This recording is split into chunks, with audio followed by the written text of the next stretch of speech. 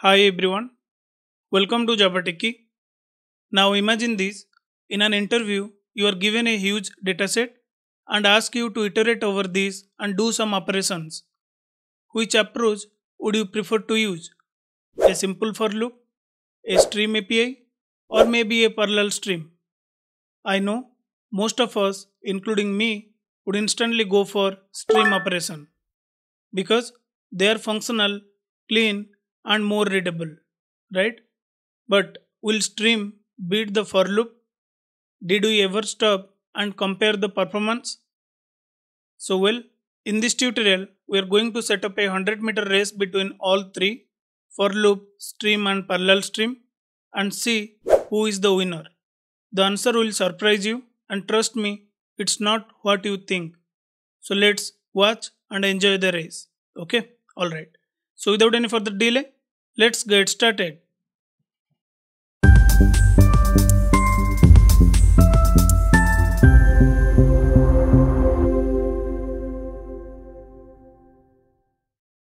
So to demonstrate who in the race, first let me create a new Java class. I'll name it loop versus stream race or you can also define the benchmark. Now what is our first goal? We'll run a huge dataset with three different approaches using for loop, using stream and using parallel stream. Okay. So what I'll do, I'll take 50 millions integers in a list. Then the simple logic I am going to perform to evaluate who is the winner will just find the sum of all the numbers. Okay. That is a simple task I will ask all the three loops to do. Then we'll evaluate who execute first or what is the latency of each method execution. Okay. So let me create a data first.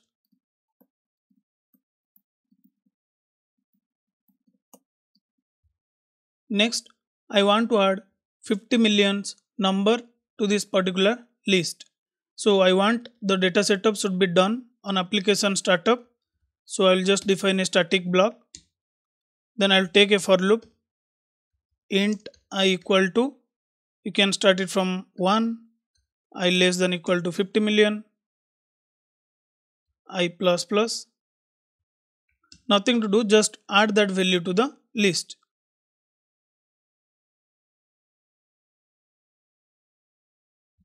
That's it. So just keep a note here.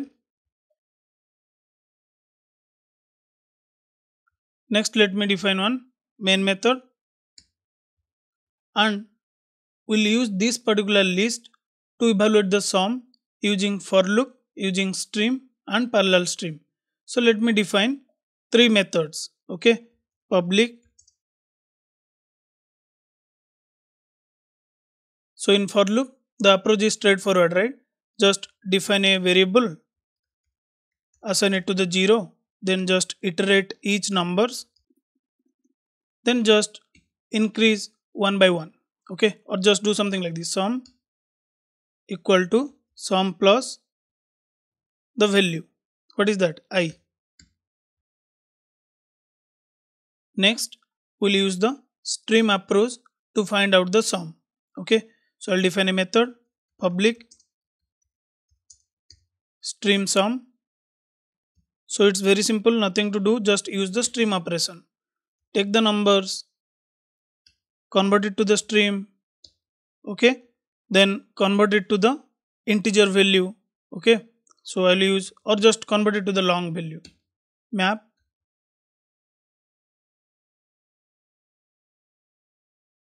Then just do the sum. All good? This is the simple method using stream api now see the line number 22 to 27 and see 30 to 32 stream operation allow us to do functional style coding and it's better readable isn't it now let's do the sum operation using parallel stream so i'll copy this and instead of stream I'll use the parallel stream. That's the only change. So we have defined all the three methods. Now let's call each and every methods and let's see the result. Okay. each method how much time it took to execute you can evaluate that so for that what i can do i'll just use long start when it start i'll use system dot current time millisecond then i'll also get long end okay now between this i'll execute my logic so i'll simply call for loop okay i need to define this as a static right? Because i'm directly calling inside the main method define static.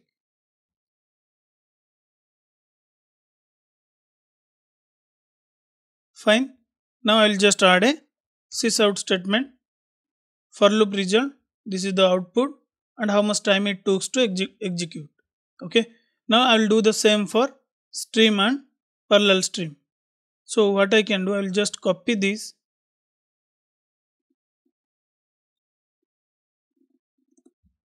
call the stream method. Change the output.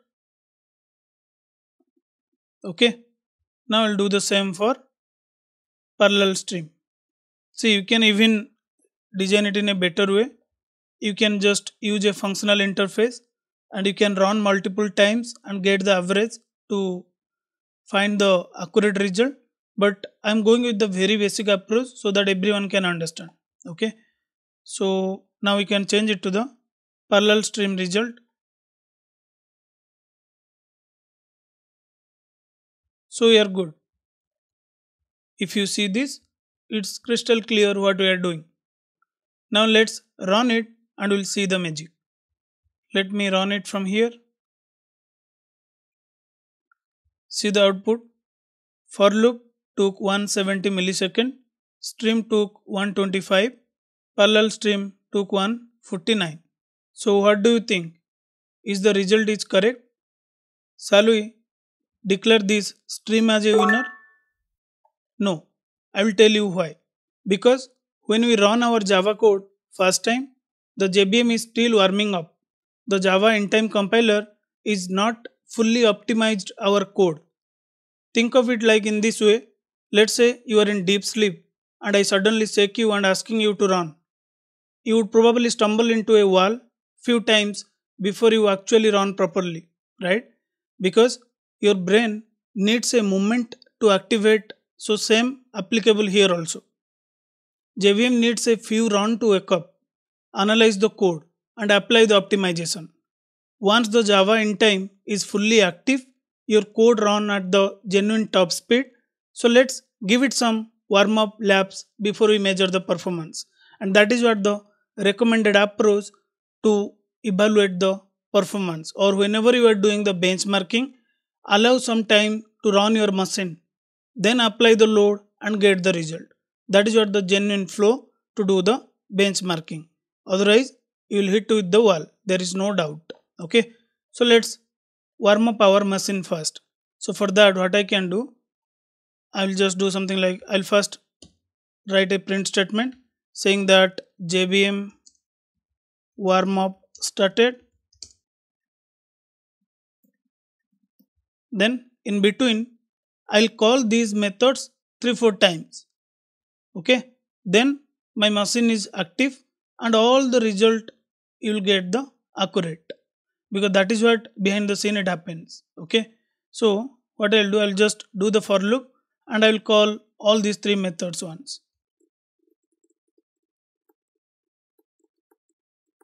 so this looks good. Five times each method will call. So my machine will get the movement to speed up the things. After that we are actually evaluating our benchmarking result. Now let's run this application. It will take time because the count is 50 million which is a big number right? So let's wait and see the result. Great. We got the result. Now if you see the output for loop took 86 millisecond stream 93 and see the number parallel stream. How much time it took to execute? Only 60 millisecond. Okay. So let me copy this output.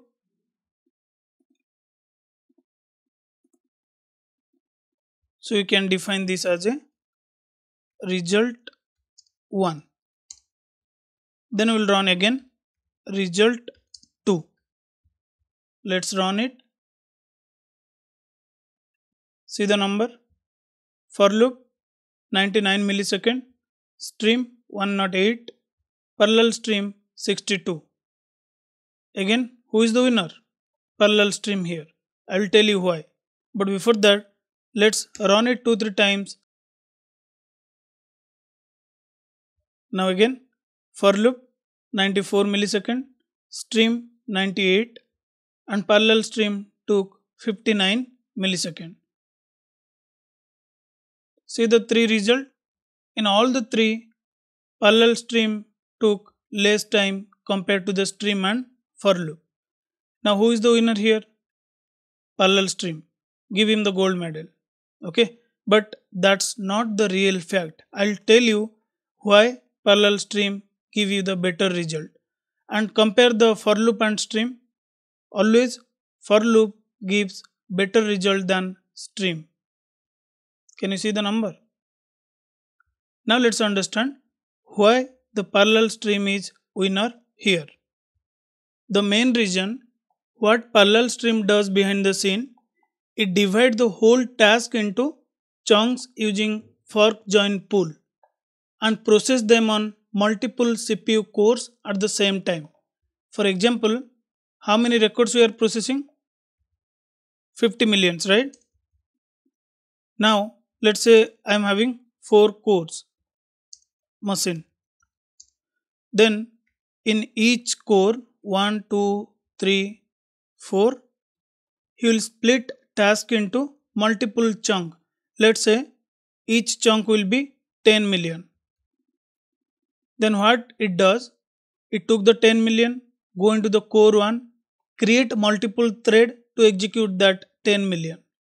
Then again took the second chunk go into some core and uh, create the threads over there and execute your task. So that is the reason it's parallel execution with multiple cores. Okay? So that is the reason you are getting a good number in parallel stream approach. But honestly the output will not be always same. Now since you are using 50 millions data so the dataset is huge. So it's enough work to justify splitting into multiple threads because the overhead of creating threads and merging results becomes negligible when the workload is more okay? When the workload is big. But if i'll take let's say i'll change it to 10000 so let's run it first. See the result. For loop 1 millisecond, stream 0 millisecond. Now stream is the winner here. Okay, because the dataset is not that much huge, right? 10,000 is not a big number. Now see the parallel stream 36 millisecond. Can you compare the number 35 times more than stream and for loop. Now let's run it again. See this 2 millisecond. Now stream took 12 millisecond, 14 millisecond. Let's run it again. See the number in parallel stream. We cannot define or we cannot declare him as a winner always. If it is a large dataset, then no doubt parallel stream will give you the best result. If it is a less dataset, then don't go for even parallel stream. Even I would suggest to not go with the stream because the purpose of stream is not meant for looping. If you have stream of inputs, you can perform different intermediate operation like filtering, collecting the data, mapping the data, those kind of things you can go with stream, not for looping. Okay, so always for loop will give you the good result. Now this parallel stream is taking more time okay?